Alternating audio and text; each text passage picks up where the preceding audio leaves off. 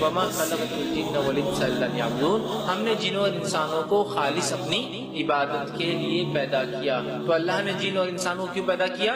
اس کی عبادت کے لیے۔ اگر جن کافر یا غصے والے انسان کو کہتے تو یہاں الگ سے دو کیٹیگری کرنے کی کیا ضرورت تھی۔ ہم نے انسانوں کو اپنی عبادت کے لیے پیدا کیا۔ اس میں اچھا انسان بھی شامل ہے، اس میں برا انسان بھی شامل ہے، اس میں غصے والا انسان بھی شامل ہے، اس میں نیک انسان بھی شامل ہے۔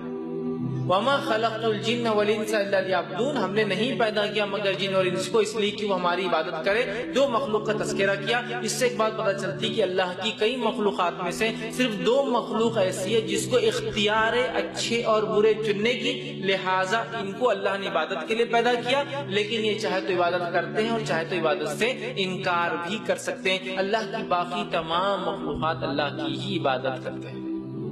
صرف دو ایسی مخلوق ہے دو ایسی جنس ہے جس کو اللہ نے چوائس دی کہ وہ چاہے تو عبادت کو اختیار کرے، چاہے تو اس کا انکار کر دے۔ اور وہ کون سی دو مخلوق ہے انس اور جن تو کہا وما خلقت الجن وما خلقت الجن والانس الا ليعبدون۔ ہم نے جن اور انسان کو جو ہے اپنی عبادت کے لیے پیدا کیا۔ اور قرآن کی ترتیب یہ بات بھی بتا رہی وما خلقت الجن والانس ہم نے جن اور انسانوں کو تو اس سے پتہ ہی چل رہا قرآن کی آیت کی ترتیب سے۔ پہلے کون بنے؟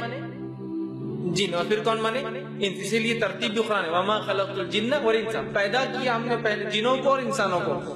اور یہ بات حدیث سے بھی پتہ چلتی ہے کہ پہلے جن پیدا ہوئے اور پھر انس پیدا ہوئے۔ پہلے ابلیس بنایا گیا اور پھر آدم بنائے گئے ابلیس بابا جن ہے اور آدم علیہ السلام بابا انس ہے فادر آف ہیومینٹی انسانوں کے باپ ہے اسی طرح ابلیس جنوں کا باپ ہے، یاد رکھیے۔ وہ کوئی فرشتہ نہیں تھا۔ وہ فرشتوں میں رہتا تھا، لیکن وہ کبھی بھی فرشتہ نہیں تھا۔ یہ غلط فہمی مت رکھیا یاد ٹھیک ہے؟ تو اللہ نے جن اور انسوں کیوں پیدا کیا؟ اپنی عبادت کے لیے۔ دوسری جگہ فرمایا سورہ ہجر، سورہ نمبر 15 آیت 27 والجن خلقناه من قبل نار السموم۔ اور ہم نے جنوں کو اس سے پہلے لو والی آنکھ سے پیدا کیا۔ اور ہم نے جنوں کو اس سے پہلے مطلب آدم سے پہلے، انسانوں سے پہلے، کیسے پیدا کیا؟ لو والی آنکھ سے۔ ایسی آنکھ جس میں لو ہوتی نا، آنکھ جب جل جاتی ہے اور وہاں ختم ہوتی ہے، تو کچھ حصہ آپ کو جلتا اوپر اڑتا ہے دکھتا ایک شولہ آتا ہے، رک جاتا ہے، پھر اوپر کی طرف جاتا ہے۔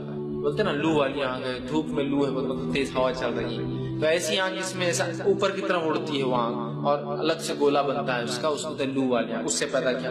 کسی جگہ فرمایا سورہ رحمان، سورہ نمبر 55 آیت نمبر 15 میں اللہ نے فرمایا وخلق الجان من مارج من نار اور ہم نے جنوں کو جو ہے، اللہ نے فرمایا، جو ہے شولے والی آنکھ سے پیدا کی ایسی آنکھ جس میں لو ہوتی ہے لو اس آنکھ میں ہوتی جو شولے شولے سمجھتے نا؟ دہک رہی ہے جو۔ ایک آنکھ تو ہوتی ہے، آپ دیکھیے کنٹینیو جلتے رہتے ہیں۔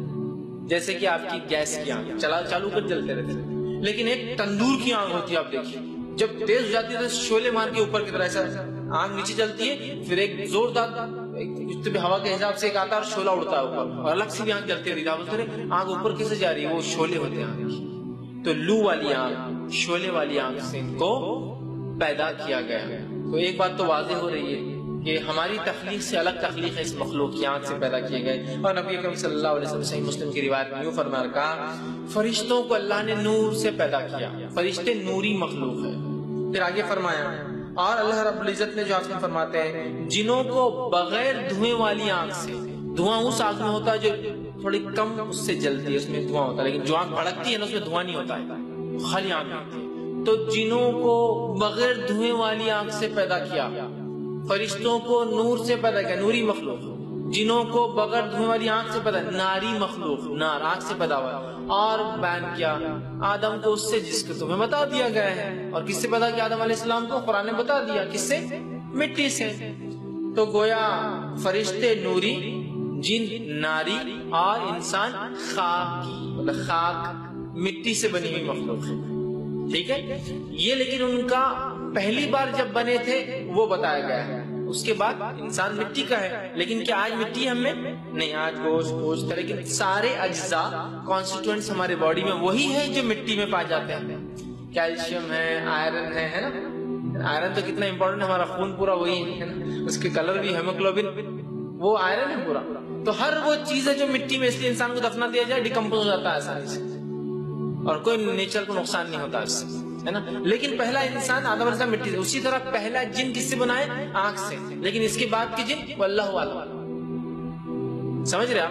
جیسے آدم علیہ السلام مٹی سے بنے، لیکن اب ابن آدم مٹی کی نہیں گوشت پوچھ کے ہے تو ویسے پہلا جن آنکھ سے بنا، لیکن اب اس کی کیفیت کیا؟ ہے واللہ عالم ہم نہیں کہہ سکتے ہاں بالکل آنکھ سے ہی آج۔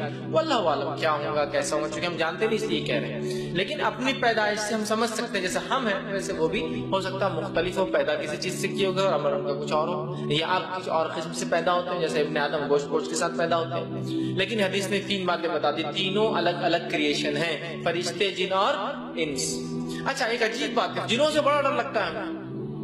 جن بولے تو رات میں مت بولو، نام بھی مت لو ہے نا؟ جن بولے تو رات میں نام بھی مت لو اتنا ڈر لگتا ہے۔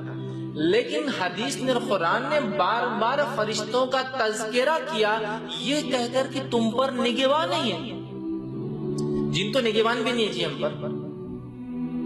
لیکن فرشتوں سے کبھی وہ ڈر نہیں محسوس ہوتا جتنا جنوں سے ڈرتے ہیں ہم لوگ۔ عجیب بات ہے۔